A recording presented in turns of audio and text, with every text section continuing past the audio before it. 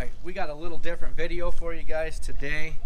My son's buddy owned this. This thing's been sitting outside for about three years, abandoned.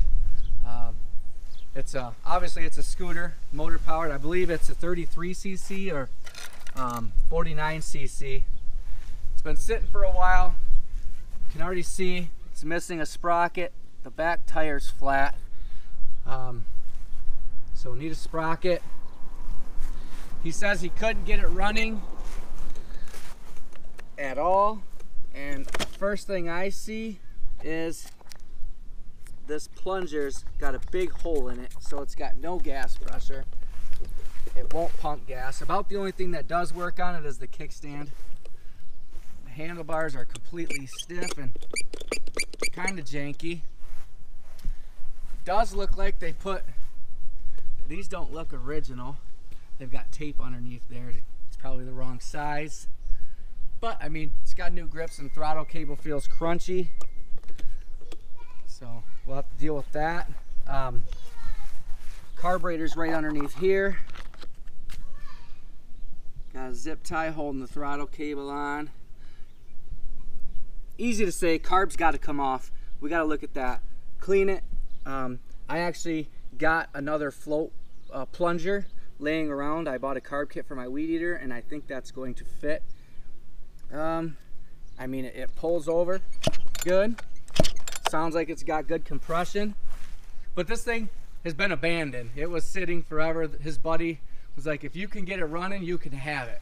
So this is gonna be the abandoned scooter revival video. We'll see if we can get this thing running. I want to put a custom exhaust on the back and uh, we already have a sprocket on order. We've got a couple things we're gonna do to it and uh, right now it does not run. We can't get it started. So this should be fun. Let's see if we can get this thing running. I know Maddox is super excited.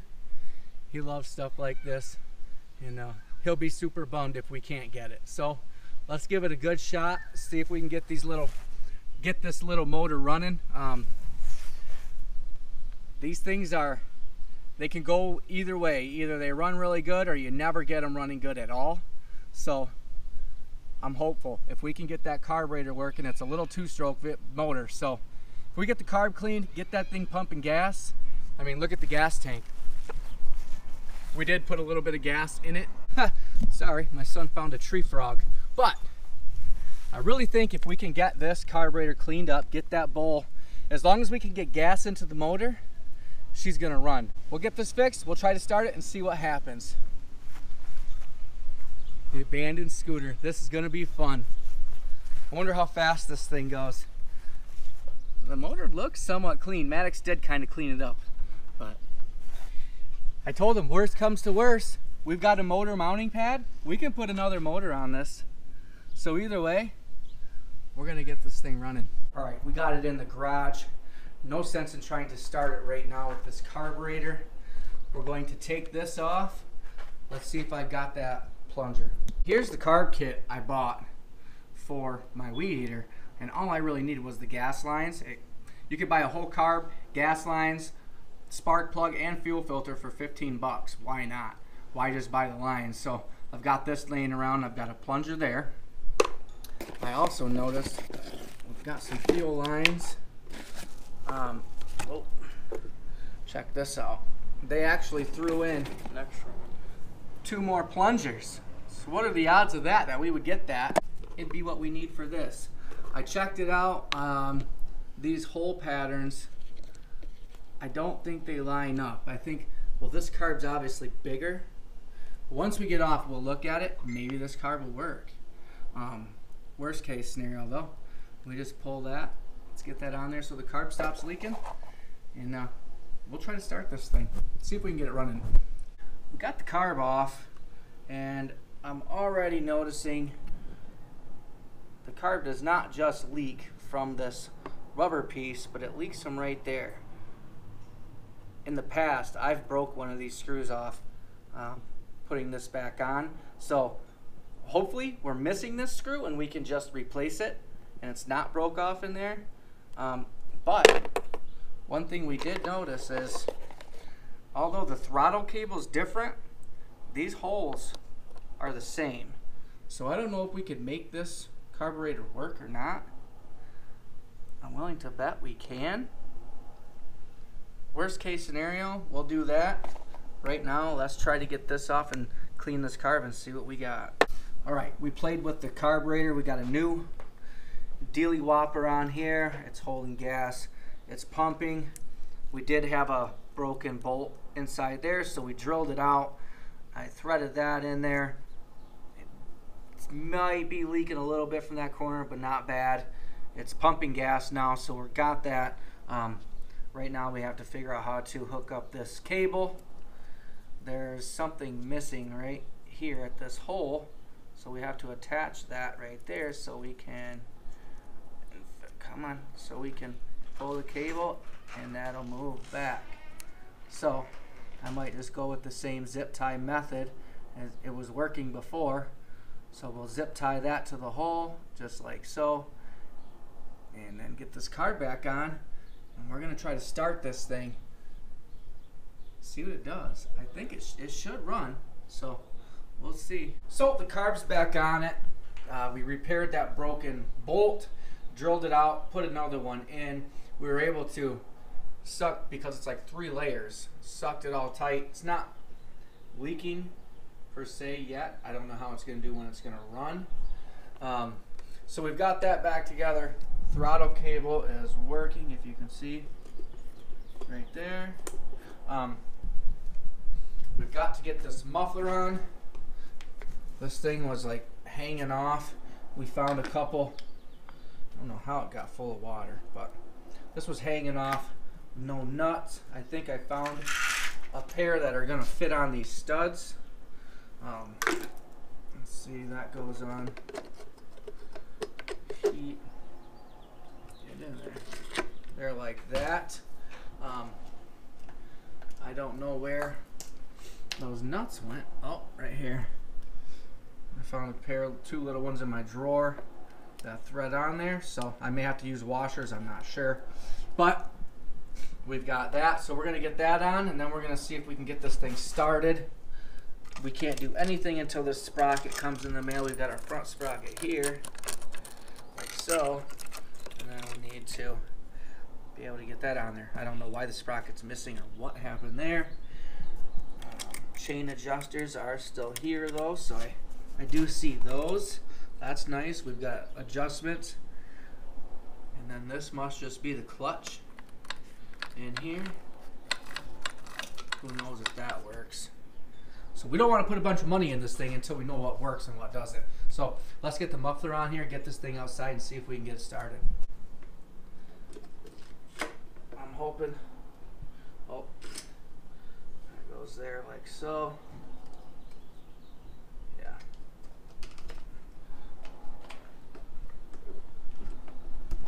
There's got to be something wrong with this thing if it was abandoned. You know what I mean?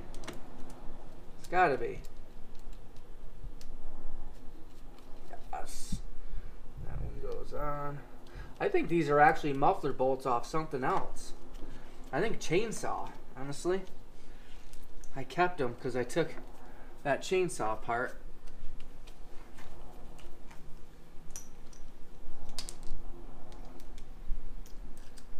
Be working though.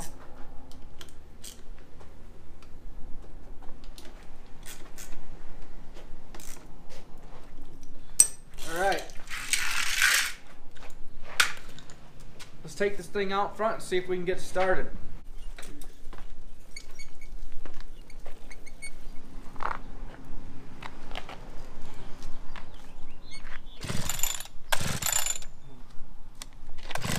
Come on, baby, start.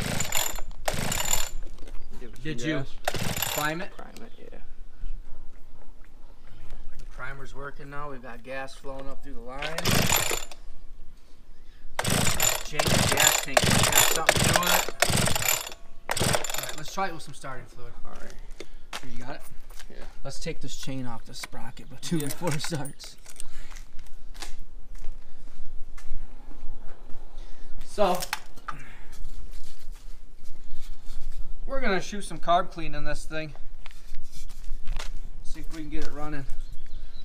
You get to see it run as like, if it starts, you get to see it run same time we do.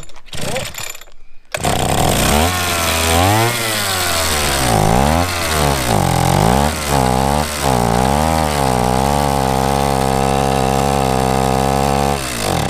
Let's try it again.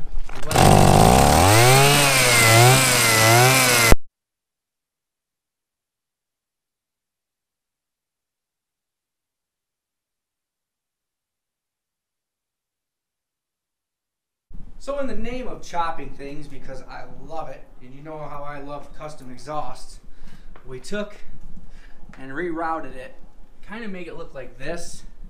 I think it just makes it look cooler, gives it a better look. Um, we just need to tack it together. So basically I took a little piece here, we'll weld it to the muffler, we'll weld this here, and it'll bolt there, you know, and the exhaust will way more cool than just this little box.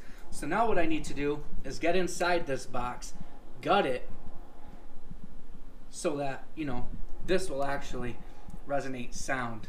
Otherwise, it's just a dual muffler, muffler and a muffler, um, which the guts have been taken out of this one because, well, it was on one of our dirt bikes and we like everything loud. So we are going to do that there. Well, basically, we took the stand off of a halogen light. We cut it up. We cut that off the actual muffler. We cut this off the actual stand, which is what gave us our perfect loop. Um, and before you say it's not thick enough, yes it is. It's just as thick, if not thicker, than the original. Um, it's big enough to where I have adjustment. I can get the angle I want, you know, like so. It's gonna make it look cool. I even thought about trying to build a little expansion chamber here where it gets bigger for the two-stroke in it all and see what that does. But I can't really come up with anything that um, I can get a good expansion chamber, like something four inches round. We thought about using a can. We thought about using this as an expansion chamber and then running pipe out of it. But I feel like that would be a whole bunch of work. And uh, we're just trying to keep ourselves busy until we get parts in the mail. They're coming soon, so stay tuned and uh, we'll show you what we come up with. So Maddox cut it open. We're pulling the guts out because we're gonna do the right thing. this kid's got my blood in him. So make it loud and proud. Don't cut yourself because I've cut myself a million times. So we did have some packing in there, um, some honeycombs and all that. We're in the process of peeling all that out of there. And we'll fold that tab back down. We'll weld her up. And bada boom, bada bing, dang, set 57 Chevy. Yeah, I saw that. Nice. Was Here, it let's the see red the one? inside of there real quick. Can you see in there? Here, face it towards I the other barely. side. All right, we got. There's our outlet. We took all. Oh the yeah, you can stuffing see through it now. Yeah. So we just gotta clean all that up out of there. Anything that makes you know anything that works as sound deadening. We want this thing to sound like a two-stroke. Got to get those ping pings. When she's pinging, then she's running right.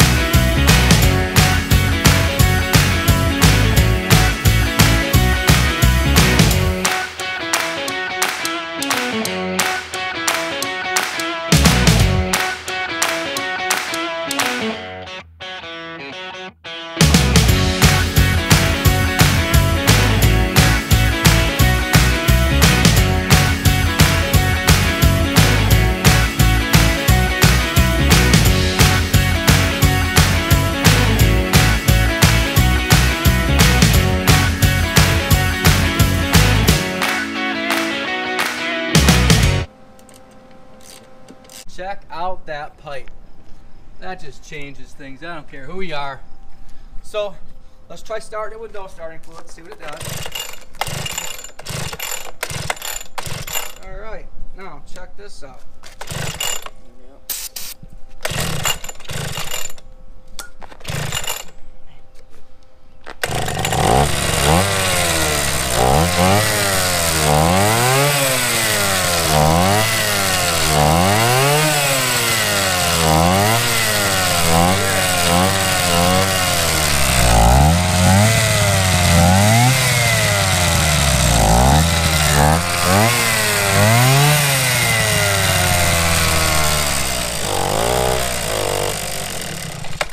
Man, we really need a sprocket. Yep. So, in the comments, please, please someone help me. I suck with small engines. I have problems with every small engine I work on. I don't know, the carbs get me every time, but why would this thing start and run perfectly with starting fluid, but never start itself without starting fluid on just gas? No matter how time, many times you prime this, it won't start without starting fluid. But you put a half a squirt in, it starts up and it runs fine and it'll run as long as you want it to. Even when it's warm, it wants starting fluid. We've played with it. I've, I don't know. I've lost my mind on it. Um, all the carbs I saw on Amazon, none of them have this throttle set up on top. It doesn't match. So I don't want to just buy a carb that's not going to be able to. I'm not going to be able to get a throttle cable in, you know. But what can I do inside that carburetor that will make it start without starting fluid? Because it runs good, it runs great, but it will not start without starting fluid. so there's that. I like the pipe.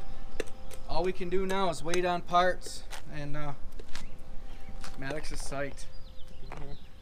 I had a couple bring their scooters over to me for repair. Basically, I put new batteries in this one and new controller. They already picked up their other one. That one's working great. We're still waiting on the controller in the mail. And these things haul. Well, the kids saw those ones. And Maddox is like, I know somebody that has a scooter. So he talked to his buddy. Next thing you know, here we are. Went from sitting outside in freaking bushes to, you know, it's running. Once we get a sprocket on here, we'll know more. Hopefully, this whole transmission clutch thing works. But I think they just couldn't get it running. And they gave up on it. It just sat. But we'll get this tube on here. We'll get that sprocket on, get that chain on. And uh, we'll see where we're at. And let me know in the comments. Would you prefer an electric scooter or a gas scooter? I'll be honest, this thing goes pretty fast and it's torquey and it, it gets up and goes and it's pretty much the same rear end as the gas one. The only thing different is the electric motor.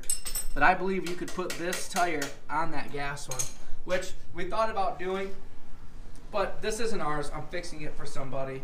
We might as well just wait until our parts come in the mail. I know my son is antsy and he wants to ride that thing. So uh, hopefully in a day or two we get our parts and we can shoot another video. That being said, we're to end the video right here. If you like the video, drop a like. Um, hopefully we get this abandoned scooter running great going down the road. We still have issues with the carburetor. It starts on starting fluid great and will run, but once it shuts off, you have to put starting fluid back in it to get it to run. So if you know anything about these small carburetors, please teach me something. Let me know what you think about the custom exhaust. Come back, see what we do to this thing. If you like videos like this, give us a like. Maybe think about subscribing and uh, definitely come back to see us riding this down the road. My son is very excited about getting this thing going and uh, having fun on it.